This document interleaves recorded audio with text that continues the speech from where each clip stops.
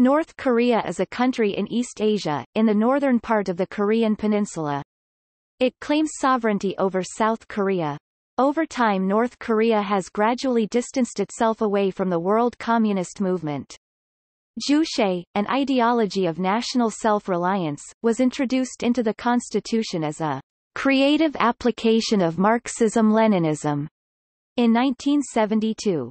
The means of production are owned by the state through state-run enterprises and collectivized farms. Most services such as healthcare, education, housing and food production are subsidized or state-funded.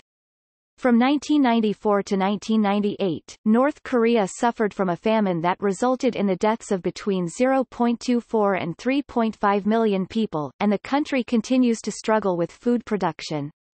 North Korea follows Songun, or military first policy. It is the country with the highest number of military and paramilitary personnel, with a total of 9,495,000 active, reserve, and paramilitary personnel.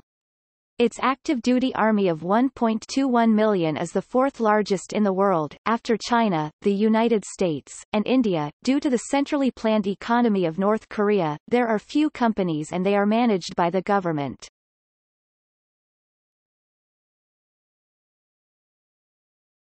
Topic. Notable firms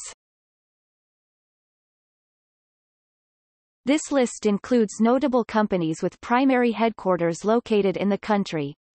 The industry and sector follow the industry classification benchmark taxonomy. Organizations which have ceased operations are included and noted as defunct.